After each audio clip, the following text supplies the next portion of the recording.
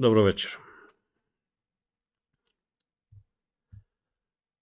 На почетокот на едниот месец започнува официјалната трка за председателскиот кабинет, а нешто малку подоцна започнува трката и за столчињата во парламентот. Сакали или не ние сите заедно ќе сме преокупирани со тоа.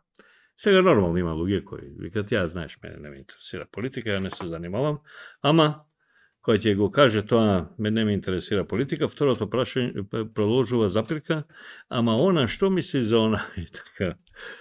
Така да сите ги интересира политика, од причина што сме ние социјални е, суштества, ние сме зон политикон, нели? Е, политички животни или битија така да не може да не не интересира. Јас сега сакам да да го заокружам делот со председателски кандидати и да го поставам основното и најбитното прашање што правиме. Оти се е фино тоа трка, се е фино тоа овој бил за ова, тој бил за тоа, меѓутоа, дајте да погледајте семафор, да го погледнеме. Семафорот, знаете, сум го кажал сто пати тоа, игра Звезда Партизан, сега без разлика дали сте Партизан или Звездаш, не е важно. И води едната екипа, а другиве навијачи се посилни, и овие што водат им викаат, погледајте семафор, 1-0 за нас. јали. Така да од тој аспект ќе појдам. А, имаше повеќе луѓе што се кандидира, односно што што се обидува да добијат кандидатура преку собирање подписи. Некои кои беа апсолутно непознати за вака за јавноста. Е, имаше некој кој дури се подпишал како господин Поповски. Значи нема ни име, или можеме и му името господин. Гоце Ристов, Драган Николовски, Томе Николовски. Е, од кај бошњаците Мерсиха Смаиловиќ, i velomarkovski tjesitije, što ne sobra potpisi. Interesno je da ambicijite se jedno ova, podtapnuvanje po ramoto, Srbite bi rekli tapšanje, je drugo, bravo majstore ti ova ona, međutim realnost je se ovija brojki. S ovije i vakvi brojki se zakitija, odnosno soočija, i pred četiri godini, pa i pred nešto poveće. Site onija mali združenija nagrađani organizaciji, partijički, a, razni onija bojkotiram, rodina, ona na onoj policijski odoušnik šehtanski partija, takakvi da se vika. Se suočila deka Прво не може да собрат 1000 подписи. Беше 1000 за кандидатура за локални или за парламентарни, свеедно, а второ, кога ќе излезат, не може да добијат неколку стотини. Некој имаше и по нула. Едноставно, знаеш, Битола ќе гласа за мене, Кравари ќе гласа за мене, не знам, Ѓорч ќе гласа за мене, не знам кој ќе гласа, не знам, имаше еден Божо од Железара, за не знам кој ќе гласа. И на крајот сето тоа ништо, нула. Тоа е соочување со реалност. Значи, тука се распознаваат а, тифози, нели, навијачи, кои има, мислам, има право тие луѓе исто така да существуваат, да живеат, да сакаат да навиваат за опцијата таа и таа, и од спротивната страна, оние кои реално ја гледаат, ја анализираат, ја знаат и ја следат ситуацијата и можат реално да ја проценат и во најголемиот дел од случаите, ако не и безмалку секогаш, ја проценуваат исправно. Па така, има еден лик меѓу овие кои не се пласира, кој се вика Вело Марковски, доктор, се работи за многу фин човек. Голем специјалист, инфектолог, антиваксер, борец против труење на организмите, така да организмот, Е, едно време и активен дури и во некои структури на ВМРО, да помане. Мислам тие здравствени комисии, така. Да се амбицира, не знам зошто. Да ќе иде да, да станува председателски кандидат. И се прелажа, мислам дека е политички наивен, он е фин човек, интелигентен, меѓутоа политички наивен.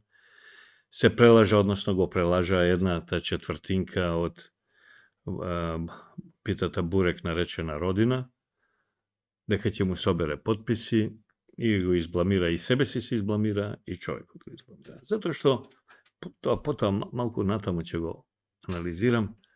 Собирањето подписи за подршка значи барањето на цифра од 10.000, не е цифра ако ти ја стигнеш 10.000 да си успел, како што мислеше Билјана Манковска. Не е. Тоа е само еден стартен, еден сам старт да ти дозволат на линијата да застанеш, па после да на 100 метри да трчаш да го направиш. Самиот старт да го чекаш. Пиштол дан, па да стартуваш.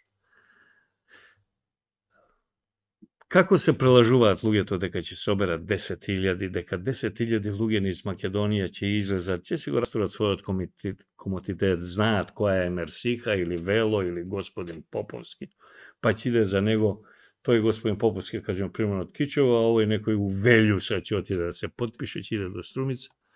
Како го замислуваат тој филм, остаа нејасно во секој случај, го избламираа човекот, а се избламираа и себе пред многу лоша проценка, лоша политичка проценка на таа, да ја наречам партија, ако таа испа поделена на половинки, четвртинки, осминки, не се знае кој е кој, кој е со кого. Сите имаат некои подкасти, некои јавувања, некои текстови, онака надобудни сега, ова, она сите се јавуваат, кога се јавуваат по телефон, лажат. Ние, знаеш колку членови од ВМРО во последните 10 дена дојдаа подпишаа нас, слаги живи. И сето тоа се избламируваат пред воопшто да влезат во трката која им е поважна, па би рекол дури и поблиска, а тоа е парламентарната. Председателската не може да е далеко е председателска. Премногу се големи цифрите. А некако може би у парламентарна нешто.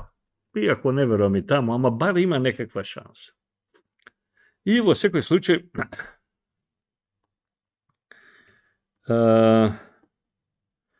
Мерсиха Смаиловиќ собра 2778 гласа, Вело Марковски 1634, значи оваа екипата таму околу Томче Ширков треба да се утепаат, затоа што имаат помалку гласови собрано за својот кандидат од Мерсиха.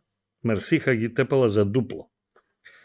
Некој си Георги Манасков, има 488, Зорица Цветковска 284, господин Поповски 145, Гоце Ристов 6, Драган Николовски 6 подписи, колку е 6, вајда тој, жена му, брат му, снаа му и татко му, примерно. Ниту еден подпис нема кандидатот Томе Николовски. Ето ми е најинтересен. Томе, кој да е Томе, свака час. Ниједен подпис. Има у, оне, има у некои кладилници, јас не играм кладилници, ама има у некои кладилници, ако од ливчето ништо не погодиш, ти дават премија.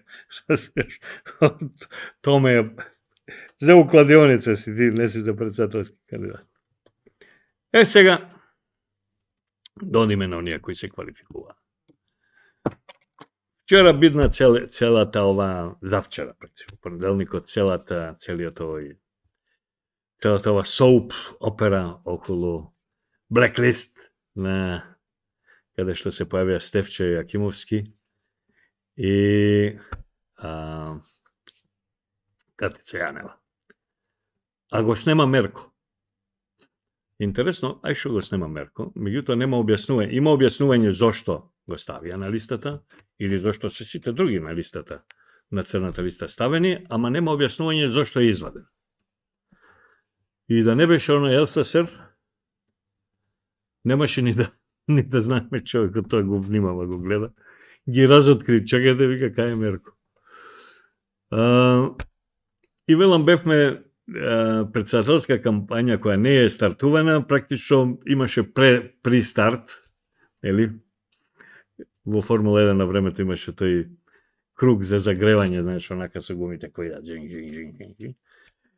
И во тој круг излезе ова блеклистов. Со се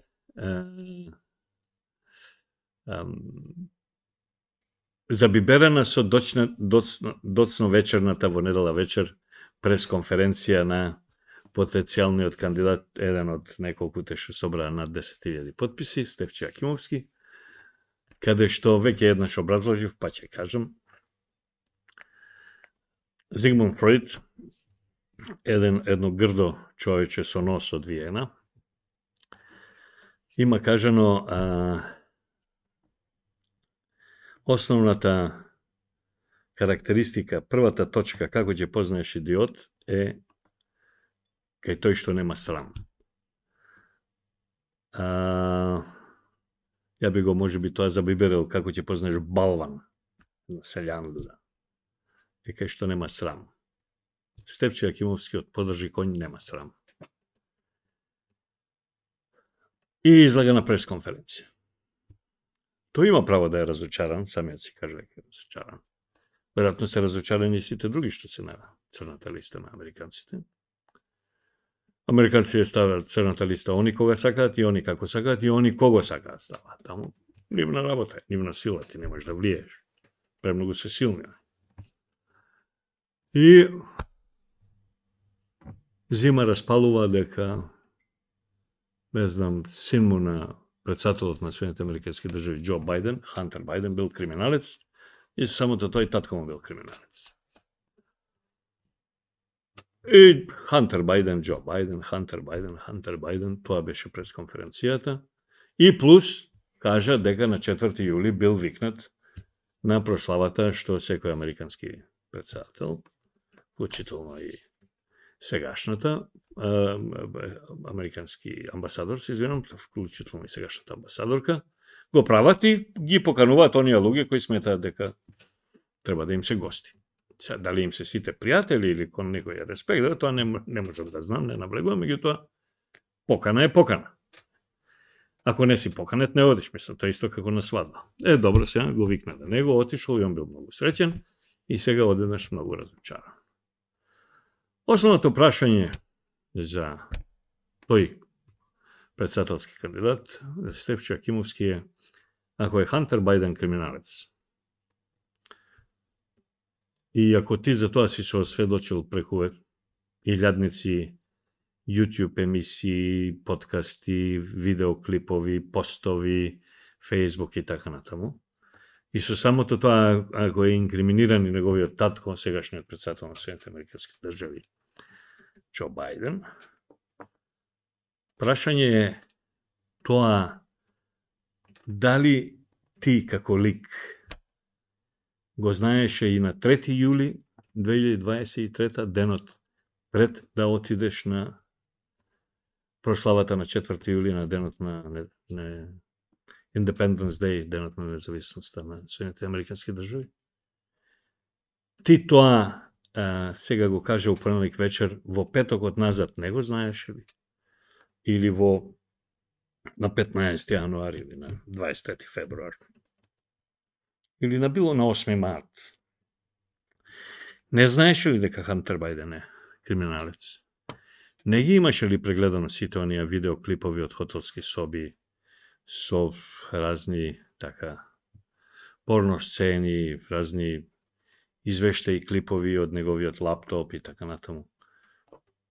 Вистински, невистински, не оставам отворен простор кој сака нека открива, меѓутоа евидентни, пристапни до нив се доаѓа, без разлика кој, кој све ги објавил ни светот. Настрана има и сослушување во со одветните институции во Вашингтон и така натаму, така натаму. И прашањето е, нели Нели знаеше ти за Хантер Бајден завчера? Како баш вчера ти текна на Хантер Бајден и вчера нас на македонската јавност ти ни соопшти дека тој бил криминалец? До завчера не беше ли криминалец он? Мислам, не знаеше ли ти за него? Не те информира, ти сега ли се освести? На кое беше понеделник 18 март? Тогаш ли вака едно едно откровење ти се ти се ти се јави? Една катарза. Мислам, до тогаш не знаеш ли ти за Хантер Бајден, да кажеме, у октомври 2023 не знаеш? Или која се кандидираше за, за градоначалник, или која победи, која пееше, не можеме нам нико ништа, или која пееше проклета да, да е Америка извезде се, што, што сјаи како е да е таа песна. Веќе. Ти тогаш не знаеш ли за Хантер? Завчера ли дозна? Момчето од подржи кој. Тој е број 1. Број 2. Да завршам со него. Број 2 е Црната листа се објавуваат американците и соодветната нивна структура, Министерството за надворешни. Uh, State Department, не знам, со во комбинација со нивното Министерство Justice Department. Без разлика излага под парол во Вашингтон и кажува националиста Петко Јанко Станко тие се националиста заради тоа, тоа, тоа, не знам, поранешниот градоначалник на, не знам, Дженерал Јанковиќ и така. најголемата контразакана од Стевче од подржи конј е дека ќе поднел кривична пријава против НН лице во Македонија. Пази, американците го ставаат, американска институција го става, во Америка го читаат, во главниот град на најмоćната држава на светот, Соединените Американски држави, најглавниот град Вашингтон, таму го читаат, на, на ваков како се вика, постолје кое со сите обележја на САД како држава, Орли, Морли, ти рековме речен знамење така натаму, а ти ќе поднесеш кривична пријава против непознато лице во Македонија. Мислам, полека. Полек. Е сега, толку со него, а целта беа председателските кандидати, иако е сега стварно и прашање едно, а, неговиот најверен, најблизок а, јавно објавен коали... политички коалиционен партнер за предстојните пар... парламентарни избори, а тоа е, е ново купената од страна на Никола Груевски, а за Данела и Драги книга, Драги Тефтер, партија, тие беа, тие се, до, бар до завчера беа, најголемите и најблиските коалициони партнери со Стевче, односно со Гром. За заеднички настав, за заеднички листи, за заеднички ова, па дајте го зема овој од овде. Па имаме преку Инфомакс, не знам, промоција и така натаму и така натаму. И сега, прашањето е за Драги Тефтер и за Данела Арсовска, како градоначалничка на Скопје, дали остануваат во коалиција со Стевче од подржи коњи, односно со а, едниот од Блеклист, тамо од црната листа. Тоа исто така многу интересно вака политичко прашање, гледам нема одговор до моментот кога ја снимам оваа емисија. И се според податоците од ДИК до 7 март до 20 часот од 15 пријавени кандидати за собирање подписи за председателски избори, до сега потребните 10.000 подписи ги собраа. Стево Пендаровски, подржан од СДС, има 22.412 подписа. Гордана Силјановска Давкова од ВМРО ДПМН 28.086, што значи у така една предтрка во една генерална проба, кандидатот, во случајов кандидатката на ВМРО, го има со една третина тепано кандидатот на СДС.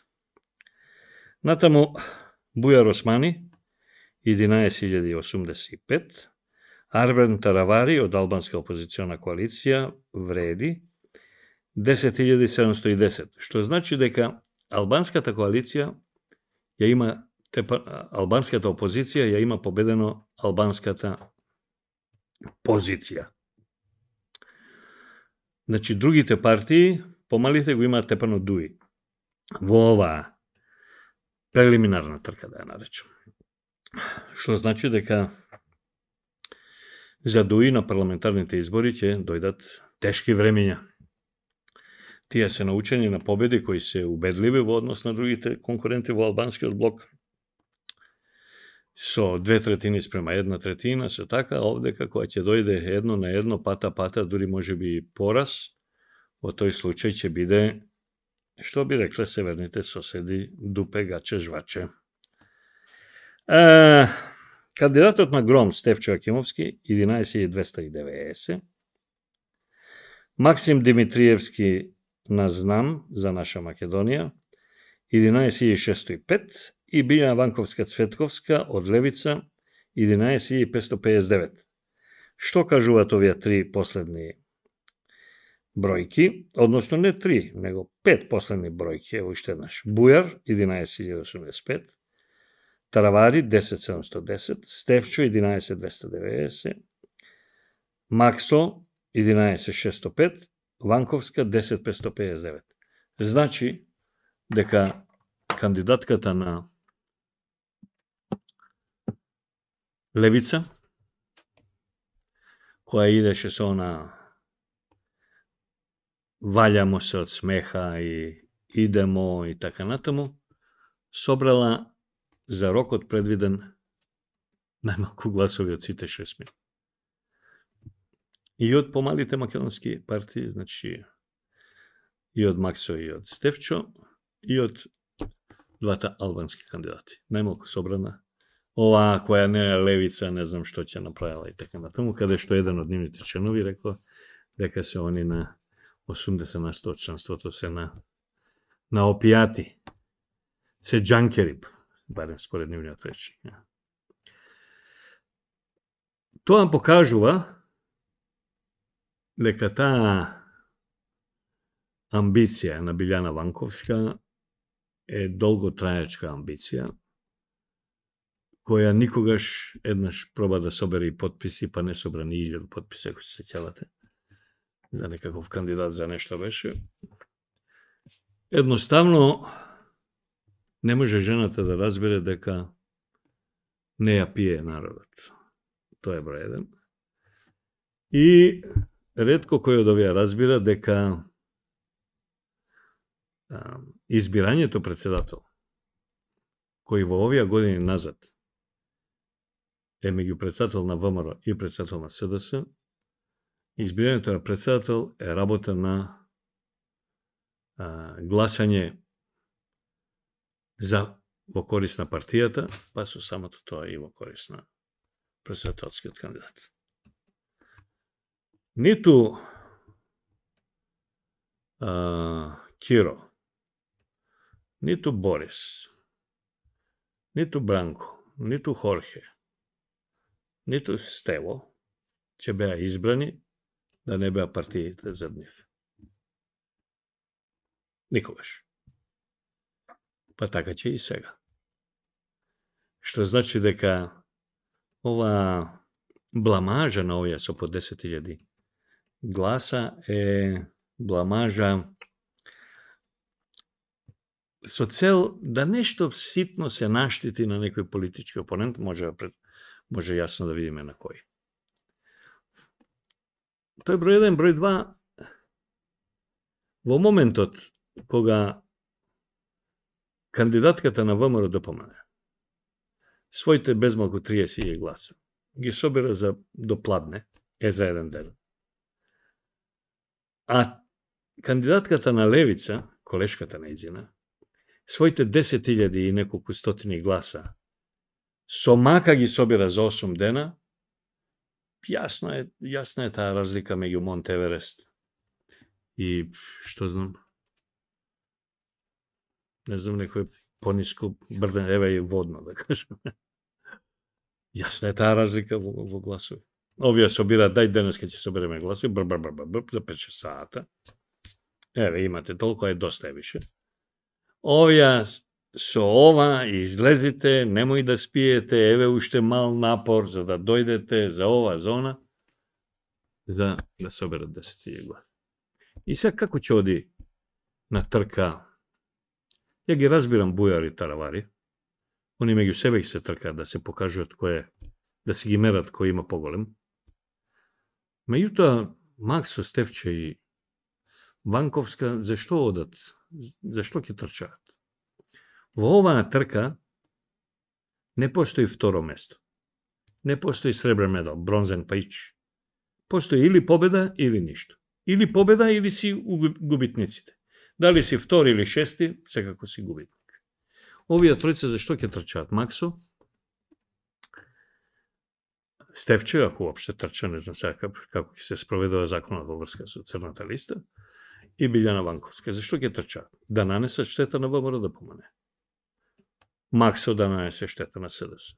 Ама, Секако Стевчо и Ванковска да нанесе, да нанесе штета на ВМРО. Да помане. Ако така ги гледаме, според бројот на собрани гласови, остануваат два кандидати за председател на оваа држава.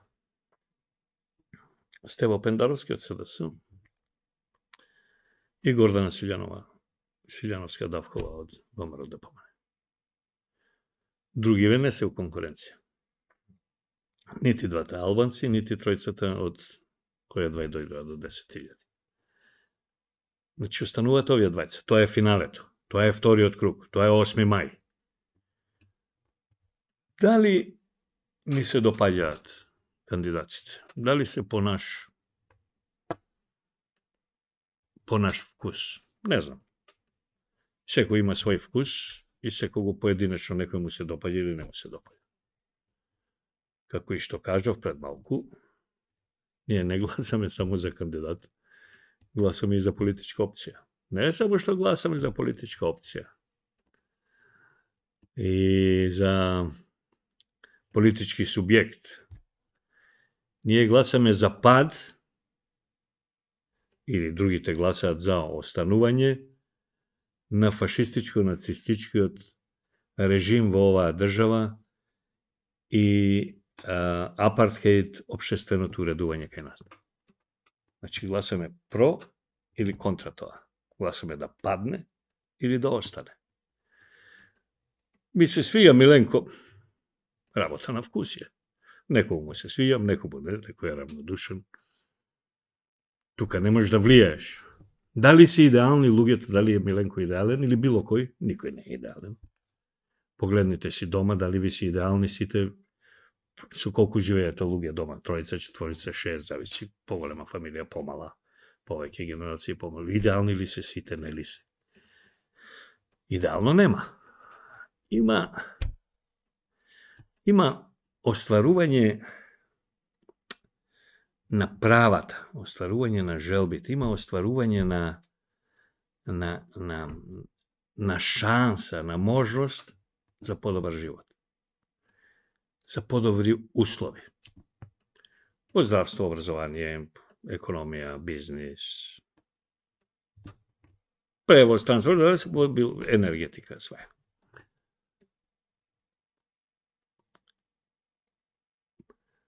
Да, Таа ни е нас Во тој правец оди гласањето. Секој гласа за себе, во своја корист. Ние сме сепак на крајот на криштата луѓе себични, во смисол, мислиме на себе. Воопшто тоа не е лоша карактерна особина. Мислиш на себе, на својата околина, на својот дом, на своето семејство, на своите деца, на своето поколение, на своите поставени родители. Мислиш во нивен интерес. и гласаш во нивен интерес.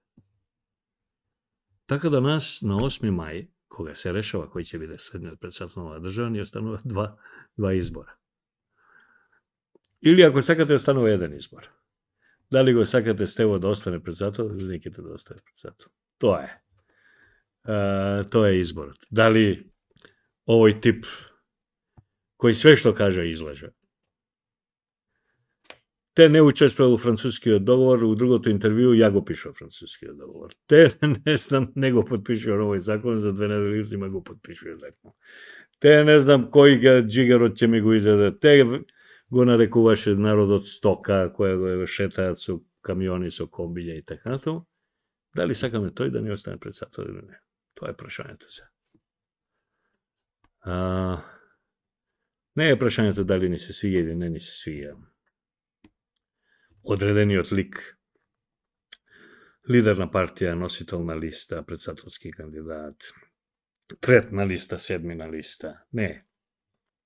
Прашањето е дали таа политичка опција ќе ти понуди подобар живот или не. За тоа се гласа. Се гласа за себе. Сега, дека е тоа персонифицирано низ лик Петар Петровски, кој е носител од изборна единица таа и таа на место ова, тоа е друго. Меѓутоа, во основа, ние гласаме за себе. Се гледаме во петок. Ве поздравува вашиот пријател Миленко Недолковски. Чао.